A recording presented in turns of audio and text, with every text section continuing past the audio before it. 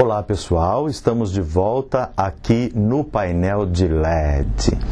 O primeiro aviso é o seguinte: nós mudaremos os horários de confissões a partir desta semana na nossa paróquia.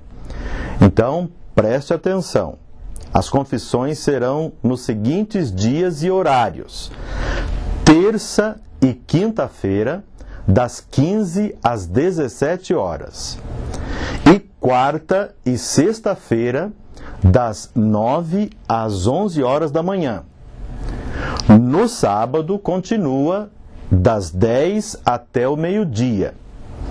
E de agora em diante, toda primeira sexta-feira do mês, após a missa das 19h30, atenderemos também as confissões. Fique ligado. Rede Kids está de volta das férias. Traga seu pré-adolescente para cantar, rezar e se divertir às quintas-feiras a partir das sete e meia da noite no Espaço Vida.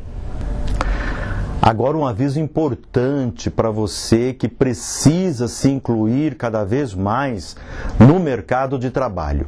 A nossa obra social promove vários cursos importantes para pessoas com renda familiar de até três salários mínimos. Então procure nessa semana informações e fazer a sua inscrição para esses cursos sem falta.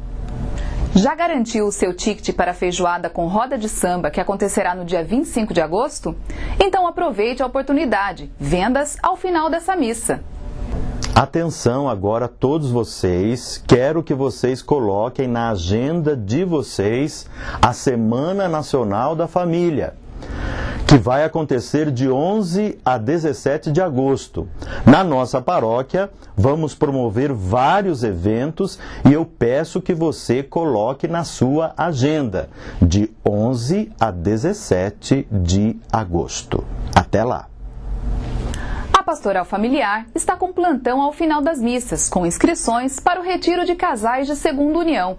O encontro vai acontecer nos dias 31 de agosto e 1 de setembro.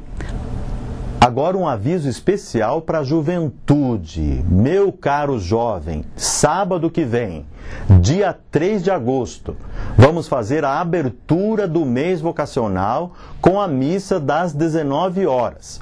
E a sua presença é fundamental.